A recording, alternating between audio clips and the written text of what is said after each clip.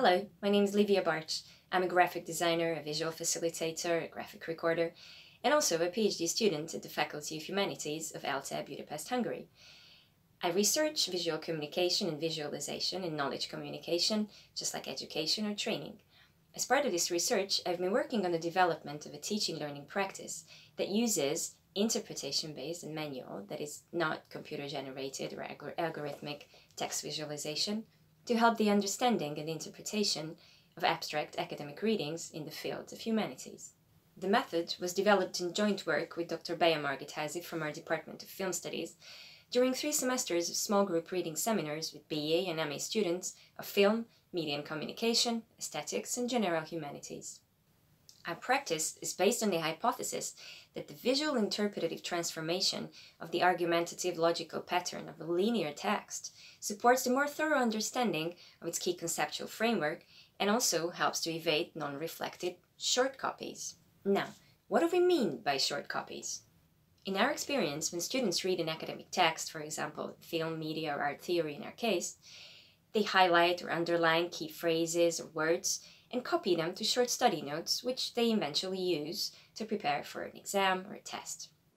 These concise extracts seem easier to study from. They are one two page notes compared to 10 15 printed pages.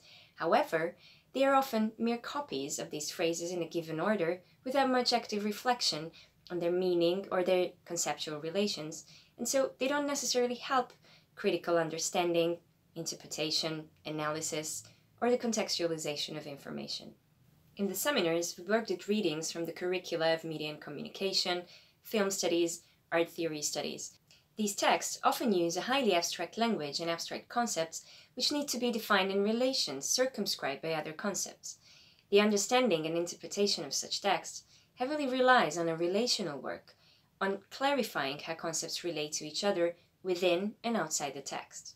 In humanities disciplines, this work is mostly done through verbalization tasks such as discussions, close reading sessions, or writing essays. To add an alternative perspective, we asked the students to map the conceptual relations in two-dimensional diagrams instead of linear notes. This transformation means a step backwards from the text, switching to an overview perspective or big picture scale.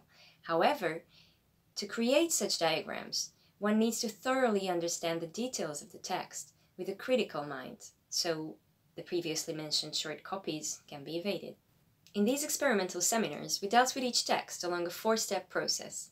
First, students read the text at home accompanied by a simple reading log.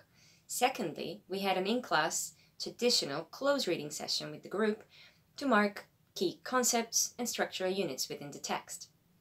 Thirdly, students individually created visual interpretations, visualizations of the text. They were asked to seek a visual arrangement, a conceptual grid, diagram, a visual metaphor, etc., in which they can effectively express their own understanding of the concepts and arguments of the text. In the first step, the students were to create a large-scale visualization in class in group collaboration. In this session, they briefly presented their individual work. Then, as a group, they discussed them, decided on the general structural layout, chose patterns, highlights, and the solutions that can most effectively illuminate certain segments of the text. We prepared for them a large sheet of paper on the wall, cards with the key concepts, colored paper and markers, but in this class we were facilitators and mediators, asking questions, but letting the students negotiate the creation process. Apart from the four core steps, we introduced varying lead-in tasks in the beginning of the semesters to introduce visualization methods, visual communication, and visual thinking principles and also follow-up tasks to further reflect on the interpretative process in either visual formats such as zoom in and zoom out portfolios to focus on detail or in broader context, or in written essay form. Based on the experience of these three semesters, we could observe two important results.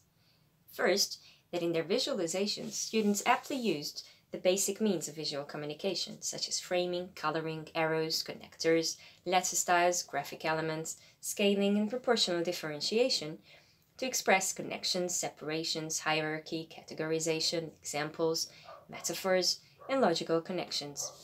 Each individual work was different, documenting each student's individual understanding process. However, there were structural similarities allowing common understanding and discussion.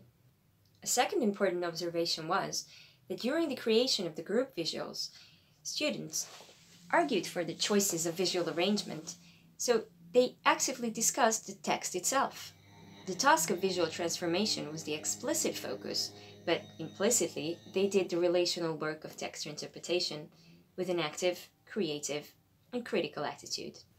If you are interested in the details of this teaching learning practice or the background theories that I have used, please find our publications and some key reference readings at the end of this video.